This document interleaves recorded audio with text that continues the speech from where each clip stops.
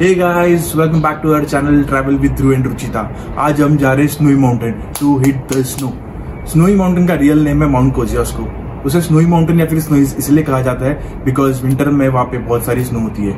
लोग वहाँ पे स्नो एक्टिविटीज़ करने आते हैं जैसे कि हो गया स्कीइंग स्नो बोर्डिंग टबुगॉन और आप नॉर्मल स्नो एंजॉय करने भी जा सकते हो। Mount Kosciuszko is one of the tallest mountain in Australia जिसकी हाइट है 2200 मीटर्स हाई तो सिडनी से स्नोई माउंटेन की दूरी है लगभग 500 किलोमीटर और हमें वहाँ पहुँचने के लिए लगेगा कम से कम छह या सात घंटे। तो अभी बजे सुबह के छह हमारा टारगेट रहेगा हम पहुँच पाए कम से कम आफ्टरनून 12 या एक बजे के बीच में ताकि हम स्नो का ज़्यादा मज़ा ले पाए। और इस वीडियो में बने रहे क्योंकि हम सिडनी से स्नोई माउंटेन जाने के बीच में हम क्या क्या चीज़ें कवर कर सकते ये सारी चीज़ें हम बताएँगे। तो चलो लेट हिट द स्नो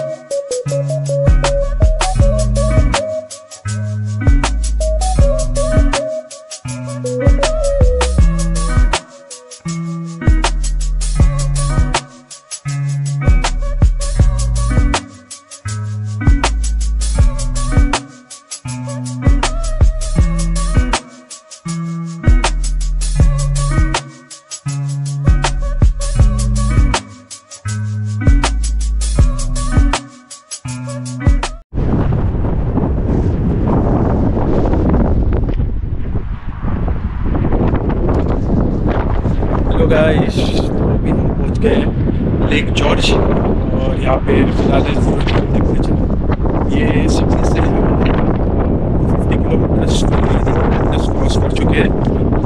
इसके इसके अलावा आप गोलबन सिटी में भी आप हॉल्ट ले सकते हो। जहाँ पे एक बहुत बड़ी शीप है, आप क्या फ़ोटो भी खींच सकते हो। हम लोग ने भी खींचे थे। एक्चुअली मैंने यहाँ इस बार नहीं खींचा। लास्ट टाइम जब था, तब मैंने हम वहाँ पे रुके थे। बट इस बार हम लेक जॉर्ज देखना चाहते थे तो हम यहाँ पे रुके। इस लेक की खास बात यह है कि ये एक साइंटिफिक लेक है। इसका वाटर लेवल बहुत फ्लक्चुएट होता है। और ये लेक इतनी बड़ी है one of the largest lake in Australia है, जो कि है अराउंड 50 टू 60 किलोमीटर्स तो ये है वो जॉर्ज लेक यहाँ पे अगर वाटर लेवल बहुत फ्लक्चुएट होता है तो इसका आउटलेट है नहीं एक्चुअली ये वाटर ये लेक तो इतनी फ्लक्चुएट होता है तो जब पानी कम हो जाता है तो यहाँ पे साइंटिस्ट लोग रिसर्च भी करते हैं। काफ़ी बड़ी है।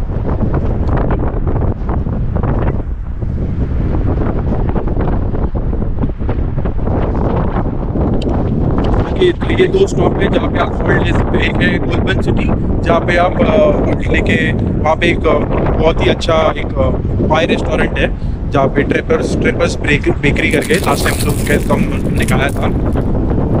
वहाँ पे रुक सकते हैं। या फिर आप होल्ड लेने के लिए रेस्टोरेंट यूज़ करना है। आप लेक जॉर्ज चल सकते हो और फिर इसके बाद अराउंड फिफ्टी किलोमीटर्स में हम कैनबरा पहुँच जाएँगे, जो कि है ऑस्ट्रेलिया का कैपिटल तो वहाँ जाके रिफ्यूल करेंगे।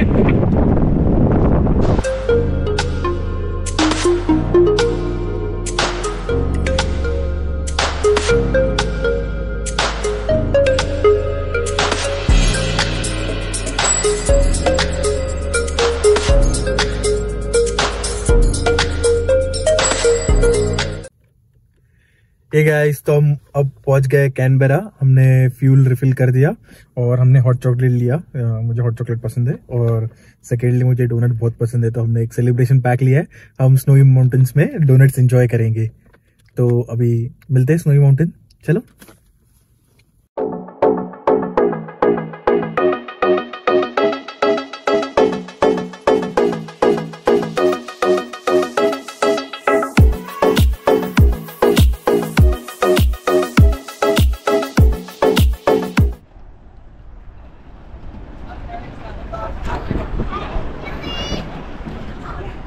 ए गाइस तो हम पहुँच गए ज़िंदा पे। मेरे पीछे आप देख सकते हो कि ये लेक है। अगर आपको वीडियो में दिख रहा होगा। मैंने वीडियो में अलग से भी निकाला इसका वीडियो आ, तो ये है ज़िंदा बे लेक जो कि काफ़ी फ़ेमस है। समर में यहाँ पे बहुत चीज़ें करते लोग। जैसे कि यॉट चलाते फिशिंग करते बहुत कुछ चीज़ें करते।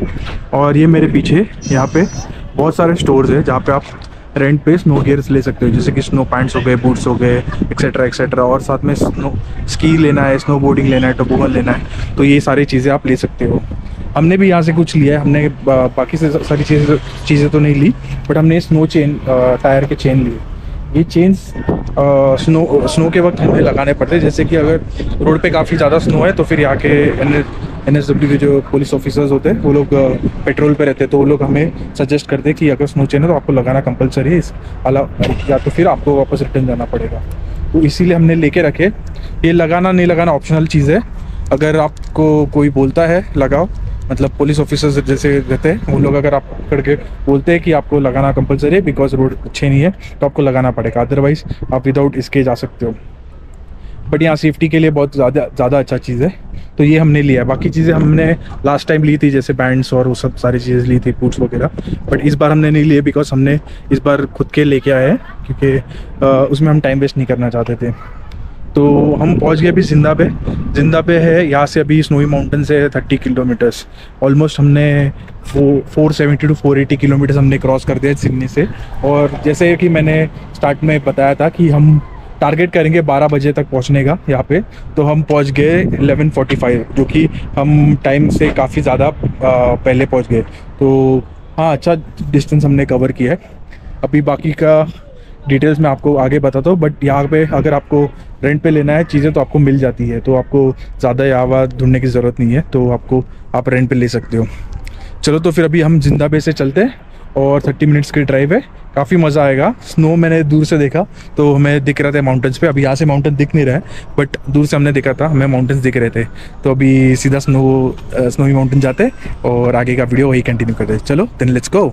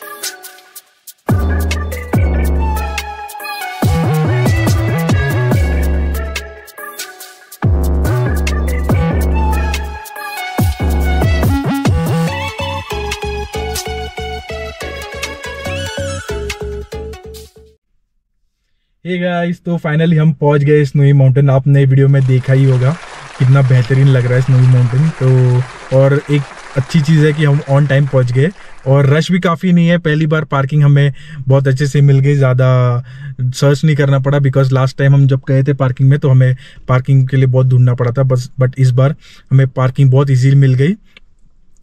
तो ये था part one of the video snowy mountains because snowy mountain में uh, बहुत बड़ा वीडियो बन सकता है इसलिए हम पहले वीडियो में हम ये चीज़ कवर कर रहे हैं कि सिडनी टू स्नोई माउंटेन आप कैसे आ सकते हो और पार्ट टू में हम दिखाएँगे कि स्नोई माउंटेन में हम क्या क्या मज़े करने वाले तो अगर आपको वीडियो अच्छा लगा हो और आप अगर फ़र्स्ट टाइमर हो स्नोई माउंटेन आने के लिए तो प्लीज़ वीडियो चेकआउट करना बिकॉज़ इसमें काफ़ी चीज़ें इन्फॉर्मेटिव है। जैसे हमने कहाँ होल्ड किया हमने क्या चीज़ें लिए हमने हम, हम कहाँ कहाँ रुके हम कहाँ कहाँ होल्ड लिया हमने कहाँ कहाँ रिफिल किया फ्यूल तो ये सारी चीज़ें हमने इस वीडियो में कवर की है तो आप ज़रूर दिखना अगर आप फ़र्स्ट टाइमर हो। अगर आपको वीडियो ज़्यादा अच्छा लगा हो तो please do like share and subscribe और कीप वॉचिंग आज अभी इस वीडियो के लिए बस इतना ही। अभी मिलते हैं पार्ट टू वाले वीडियो में। टिल देन बाय बाय ये